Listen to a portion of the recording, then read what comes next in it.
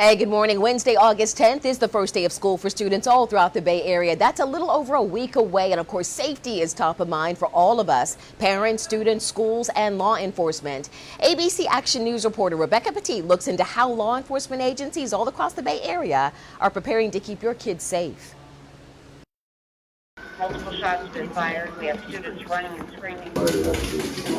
It's training they hope they never have to use. Pray that we never have to do it, but if it ever arises, we will not hesitate for, for a second. The Bartow Police Department is prepared for an active shooter situation if it were to happen. We go inside. We make sure that we, we neutralize that threat immediately. The police department conducting a two-day active shooter training at Bartow Middle School this week. The exercise, which also includes fire and EMS personnel, is taking place at a school for the very first time and incorporating critical response in light of the mass shooting in Uvalde. We no longer wait to hear shots fired.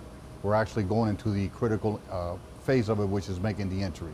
Uh, I think it's less confusing for the men and women in law enforcement. The officers are presented with different active shooter scenarios and must determine how to respond and do so with speed and precision. So we try to make it as real as possible during these training events, get the stress levels up, get their heart rates up, get that tunnel vision going. Law enforcement across Tampa Bay are holding active shooter drills ahead of the new school year, including Hillsborough County SWAT team training school resource deputies this week. This is specifically for them to address an active shooter if they were in the school by themselves. For the first time, the Pinellas County School District is using the Alert platform, which incorporates all the systems they already have in place. With school safety top of mind for many parents, officials are making sure they get it right. You can rest assured if you have a child in a school in the city of Bartow, no stone will be left unturned when we're going to get in there. We're getting in there we're getting in there as quick as we can.